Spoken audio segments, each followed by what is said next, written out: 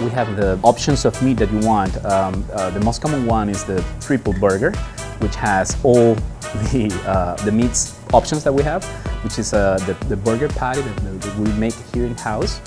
Um, and then we have uh, chicken, and uh, we also offer uh, peameal bacon.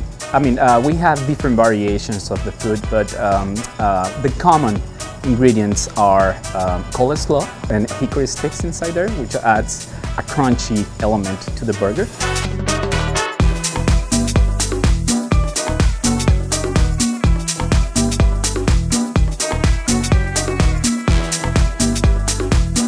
In the Venezuelan street food culture, uh, sauces are really important. We like our food to be saucy most of the time, and um, we love garlic flavors. We love uh, tangy flavors uh, like you know um, mustard and corn sauce, different variations of sauces. So we, we like actually, it's a tradition to, when you're on the streets eating, that you see the carts on the street and they're full of sauces. They have no less than 10 or 20 different options for you.